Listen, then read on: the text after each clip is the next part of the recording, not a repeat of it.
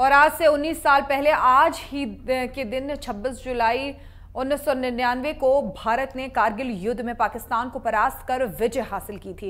इस दिन को पूरे देश में कारगिल विजय दिवस के रूप में याद करते हैं। करीब दो महीने तक चले इस युद्ध में भारतीय सेना के जाबाज जवानों ने जो पराक्रम दिखाया, उसे हर भारतीय गर्व से याद करता है और अपने मातृभूमि के खातिर मर मिटने वाले अमर सपूतों को श्रद्धा से नमन करता है। भारत माँ के सपूत ने मिट्टी का हक अदा कर दिया। आज भी अपने सपूतों सपूतों को याद करके उनके घर वाले गमगीन हो जाते हैं, लेकिन फक्र से कहते हैं कि कारगिल में शहीद हुआ है मेरा लाल।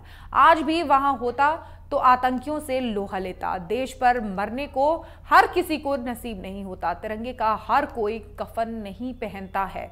वहीं पीएम मोदी के साथ रक्षा मंत्री लक्ष्मी माफ़ कीजिए, सीता सीतारमण ने ट्वीट कर शहीद को याद किया।